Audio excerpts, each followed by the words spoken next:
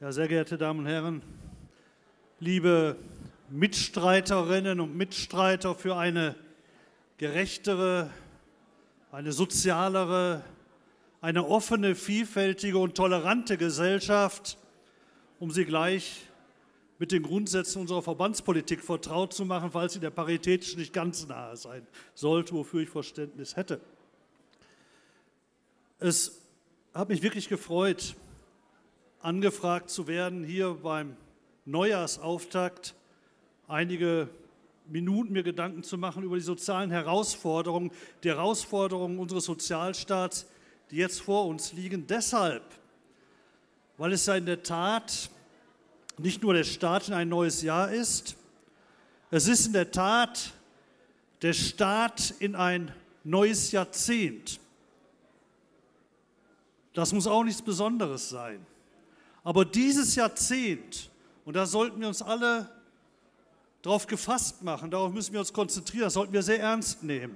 Dieses Jahrzehnt wird sehr zwangsläufig, und zwar unausweichlich, von Verteilungskämpfen geprägt sein, wie kaum ein anderes in der Nachkriegsgeschichte. Verteilungskämpfe, bei denen uns, die sich noch erinnern können an die Auseinandersetzung um die Agendapolitik, geradezu harmlos vorkommen werden.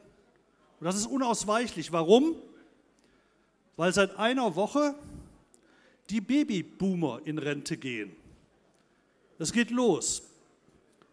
Das, was wir bisher am grünen Tisch uns überlegt haben, was passiert dann eigentlich, da, wo wir bisher Kommissionen eingesetzt haben, die relativ folgenlos irgendwelche Ergebnisse produzierten, das wird jetzt ernst. Es wird passieren. Babyboomer heißt eine Generation, die jedes Jahr 1,3 Millionen Menschen in Rente schicken wird. Wir werden am Ende dieses Jahrzehnts aller Voraussicht nach über drei Millionen Rentner mehr haben. Und wir werden gleichzeitig, wenn nicht massiv politisch durch eine vernünftige Einwanderungspolitik gegengesteuert wird, wir werden 3,8 Millionen Erwerbstätige weniger haben. Das ist das, wovor wir mit Beginn dieser Woche vor diesem Jahrzehnt stehen als Herausforderung. Das heißt, im sozialen Gefüge, in unserem Sozialstaat wird es quietschen der wird unter Druck geraten, wie wir uns das kaum vorstellen können. Wenn wir vor dieser Entwicklung, dem Abgang der Babyboomer in diesem Jahrzehnt, alles so lassen würden, wie es wäre, würden die Ausgaben unserer Sozialversicherungssysteme innerhalb dieser zehn Jahre von 690 im Moment Milliarden auf rund 970 Milliarden hochschnellen. Vor dieser Situation stehen wir. Die Sozialversicherungsbeiträge, wenn wir gar nichts tun, würden auf rund 45 Prozent steigen müssen. Und zwar, um einen Sozialstaat zu finanzieren, der uns allen, die uns Menschen am Herzen liegen, die uns allen, die wir alle mitnehmen wollen, die wir eine Gesellschaft haben wollen, die keinen zurücklässt, nicht zufriedenstellen kann. Und selbst dieser Sozialstaat mit seinen Armutsregelsätzen, mit einem unzureichenden Rennenniveau, würde bereits Dimensionen verschlingen, die einen wahnsinnigen Druck auf das System ausüben werden. Das haben nicht nur wir begriffen, die wir uns mit Sozialpolitik auseinandersetzen, das haben auch die Neoliberalen begriffen. Und sie fangen jetzt schon an, wer aufmerksam seit Jahresbeginn die Medien verfolgt, die Rufe jetzt nach noch längerer Lebensarbeitszeit bis 70, und all das, was jetzt gerade passiert, der Ruf nach weiterer Verschlankung auf dem Arbeitsmarkt, Abbau von Arbeitsschutzrechten. Es dauerte nicht zwei Tage im neuen Jahr und alle diese Forderungen kamen. Was diese Forderungen ankündigen seitens der Neoliberalen, ist in der Tat ein über die Sozialpolitik ausgetragener Verteilungskampf, der knochenhart werden wird. Machen wir uns nichts vor. Denn wir brauchen irgendwelche Lösungen. Es gibt nur zwei Lösungen. Das eine ist das neoliberale Konzept, man schleift den Sozialstaat weiter.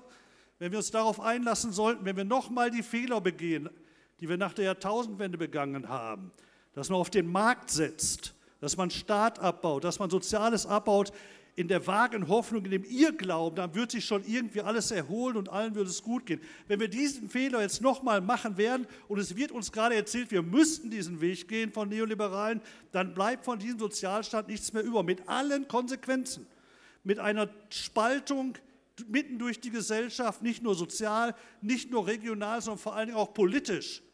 Das wird schlimm für Deutschland. Die andere Alternative kann nur darin bestehen, und das ist auch für uns neu, dass wir wirklich Reformen machen müssen, die tragen.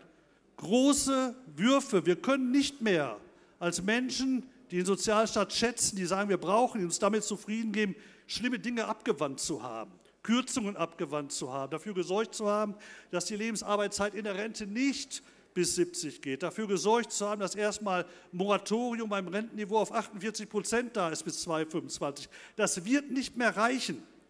Wenn wir tatsächlich in dieser Dekade, wo die Demografie erstmalig ernst macht und wo sich diese Bevölkerung wirklich erstmalig wirklich verändern wird und nicht nur in irgendwelchen Modellrechnungen, wenn wir diesen Sozialstaat retten wollen, wenn wir eine Gesellschaft erhalten wollen, die wirklich alle mitnimmt, die Armut nicht zulässt, die Menschen Sicherheit gibt, dann werden wir mutige Reformen brauchen. Alles darunter tut es nicht mehr. Dann brauchen wir Dinge wie Bürgerversicherung in der Gesundheit. Dann brauchen wir Dinge wie Erwerbstätigenversicherung in der Rentenversicherung. Da müssen wir es über Äquivalenzprinzip in der Rentenversicherung neu darlegen, über Beitragsvermessungsgrenzen, alles. Wir brauchen da mutige Reformen, die letztlich, die letztlich aber,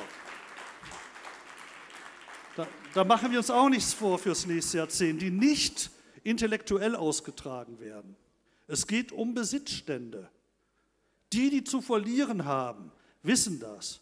Und sie werden auffahren, wie wir uns das kaum bisher haben vorstellen können. Es wird eine Propagandaschlacht geben, die, die wird ungeahnt sein.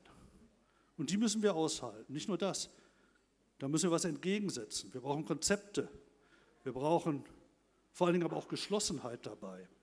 Ich denke, wir werden dieses nächste Jahrzehnt sozialpolitisch aufgrund der demografischen Entwicklung, ich kann es nur noch immer wiederholen, die auch ins Gesundheitssystem durchschlagen wird und in die Pflegeversicherung. Wir werden diesen Sozialstaat nur über dieses Jahrzehnt retten, wenn wir ihn zugleich massiv verbessern. Wir werden ihn nur über das System retten, wenn wir ihn neu denken. Und das wird allerdings nur gelingen, wenn alle, alle, die guten Willens sind, alle, die nicht einem blinden Neoliberalismus hinterherlaufen, sondern die Grenzen dieses Marktes erkannt haben und die wissen, dass der Mensch wieder in den Mittelpunkt gestellt werden muss, wenn alle diese wirklich endlich an einem Strang ziehen. Darauf wird es ankommen. Es wird darauf ankommen, der, der, der, Sachverhalt ist doch ganz einfach. Die, Neo, die Neoliberalen haben es doch so einfach, weil sie so schlicht sind.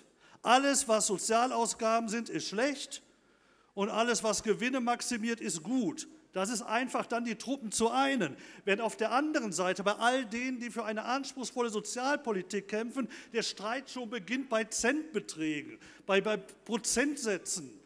Darf das Rentenniveau so hoch sein oder muss es so hoch sein? Darf der Regelsatz so hoch sein oder so hoch sein? So kriegt man keine Einigung hin. Die Linie muss stimmen. Wir müssen die Richtung vorgeben. Alle gemeinsam, die wir guten Willens sind. Wir müssen die Menschen mitnehmen, die da sind, von denen wir doch wissen, sie haben doch längst erkannt, dass es so nicht weitergehen kann.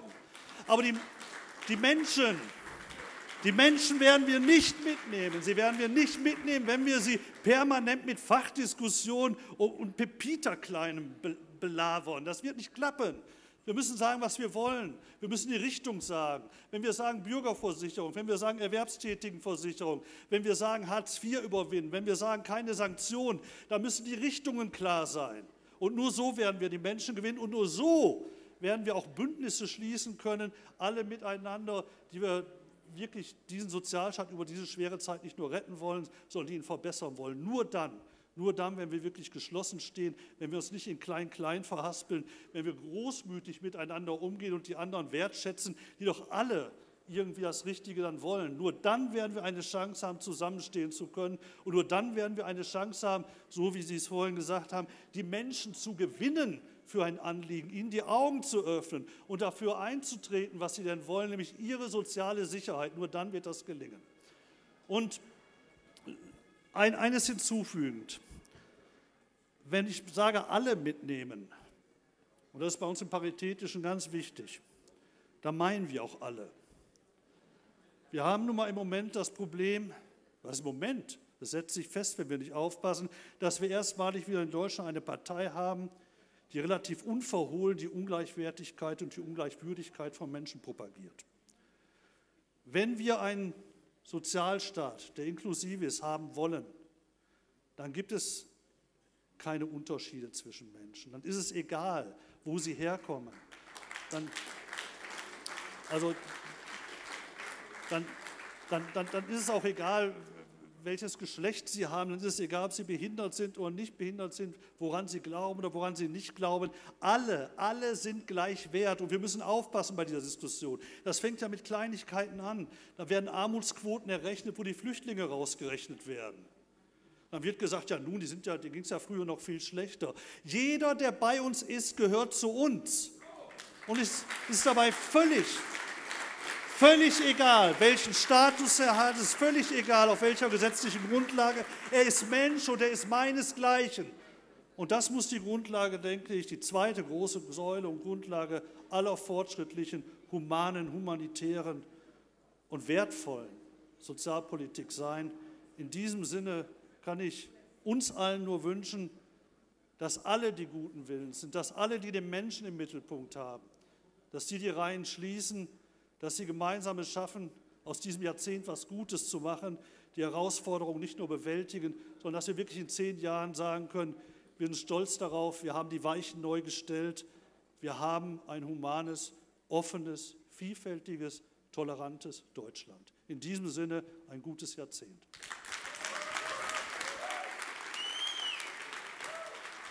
Vielen Dank, vielen Dank.